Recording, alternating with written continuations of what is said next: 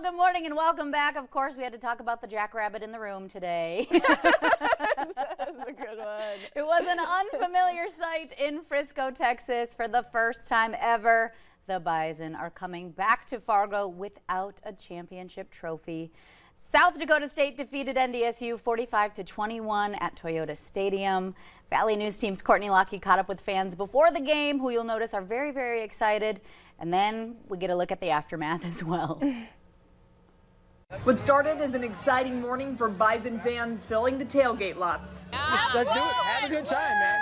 Have a good time. Go Bison, man. Go Bison! Go Bison! Let's go! Quickly spiraled into a heartbreaking afternoon. South Dakota State got off to an early lead in the first and never looked back. Instead of rushing the field for the 10th time, Bison fans rushed out of the gates into their cars. A tough loss, one fan say they hope they never have to experience again. South Dakota was just a better team, and uh, we needed to play a really good game, offensively and defensively. But I think the better team won today. They can have one, but they're not getting another. Yeah, That's all I it's gotta easy. say. It's That's all easy. gotta- A good team won today, but the best program didn't. That's a miss. Horns up, baby. Let's go. Next year, we're back. Grow a herd till we die, but SDSU is never coming back. It's that true. simple. That's true. It's that simple. Losing definitely is not something the Bison are used to, but they say they will still be celebrating a successful season tonight and know that there are more chances to come. In Frisco, Courtney Lockie, Valley News Live.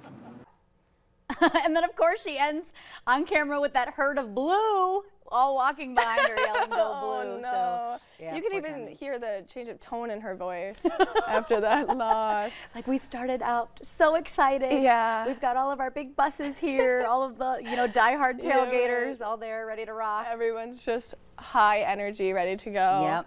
Yeah, but they were still all the fans. Obviously, we're all go Bison, but they were Yeah. still very respectful. Yeah, that was nice, wasn't Yeah, it? They were like a good team won, but a better program lost, which is a great way to spin that. I love that. Yep, yep, absolutely. Uh-huh, uh-huh, uh-huh. Dedicated fans. Yeah, it. know. Our team had a good time too, I'm assuming. It's nice to get in that weather for the weekend. Oh yeah, for sure. And, just to have that opportunity, I bet that they had a great time. Yeah, as long as everyone had fun.